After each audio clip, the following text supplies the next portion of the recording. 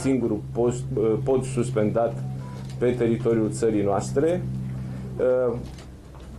Noi avem datoria să putem să asigurăm finanțarea dumnealor, să dezvolte lucrările, să învețe. Este un uh, uh, aport al mai multor companii uh, din mai multe țări. Este foarte important ca inginerii, inginerii noștri să poată să identifice și să dezlușească alte dezvoltări tehnologice prin care să putem în viitor să dezvoltăm astfel de lucrări, de ce nu, cu forțele proprii.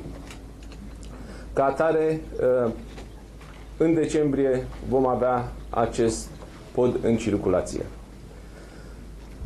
Tot astăzi am avut o vizită la compania Yazaki din municipiul Brăila, companie care are un număr de 3600 de angajați, care produce cablaje electrice și electronice și am putut să uh, discut și să uh, iau la cunoștință problemele cu care se confruntă companii de o astfel de dimensiune, uh, astfel încât uh, să putem să identificăm împreună soluții, pentru că, pe de o parte, am avut criza uh, generată de pandemia de COVID-19, de cealaltă parte, iată, acum sunt uh, uh, influențe directe sau indirecte ale războiului din Ucraina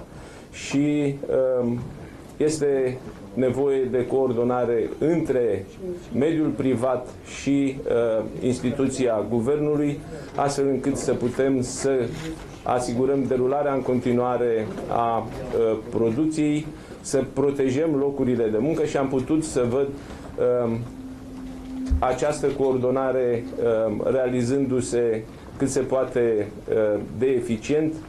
Um, conducerea companiei ne-a explicat modalitatea în care reușesc să-și păstreze resursa umană. 3600 de uh, angajați nu se țin foarte ușor în condițiile în care există uh, întreruperi pe fluxul de producție, întreruperi care sunt generate atât de scăderea cererii de automobile, cât și întreruperi generate de uh, întreruperea fluxurilor uh, logistice.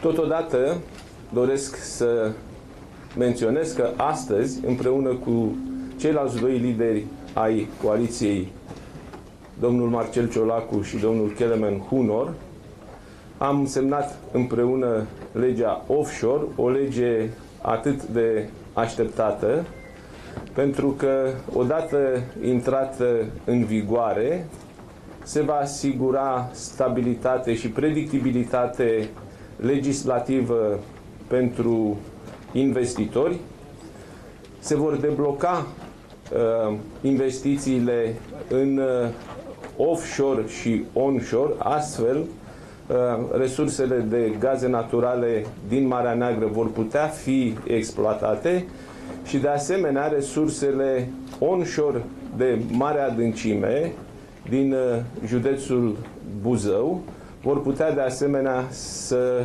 înceapă a fi exploatate.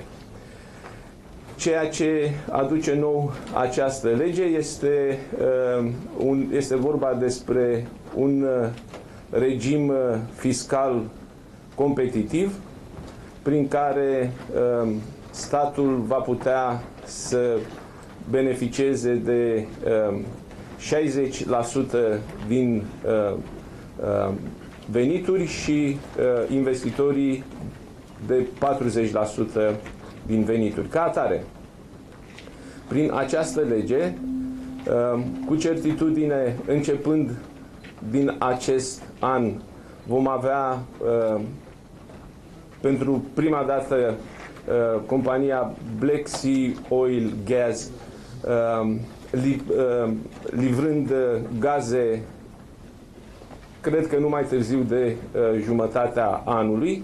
Uh, exploatează un perimetru de unde va asigura aproximativ un miliard de uh, metri cubi pe an. Uh,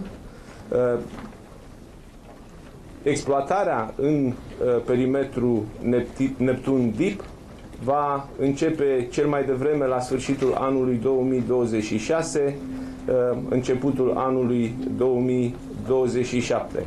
Totodată, în onshore, la Caragele, în județul uh, Buzău, uh, exploatarea gazelor la mare adâncime va începe la începutul anului 2024. Practic, prin acest proiect legislativ, așa cum spuneam, asigurăm cadrul necesar astfel încât exploatările de gaze naturale să poată să asigure, pe de o parte, independența uh, față de gazul rusesc, pe de altă parte, să asigure cantitatea necesară de gaze și în acest uh, interval de timp 2022-2027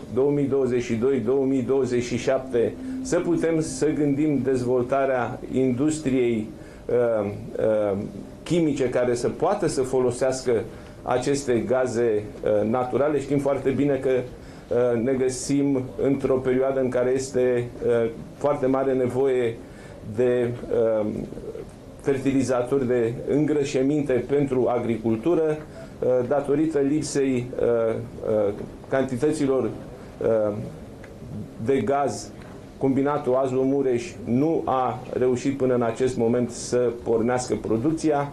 Deci, uh, argumentele pentru a putea să creștem și să ne asigurăm independența uh, în ceea ce înseamnă uh, asigurarea resurselor de gaz și producția sunt cât se poate de evidente. Mai mult decât atât, o cantitate suficientă de gaz, sigur, va duce la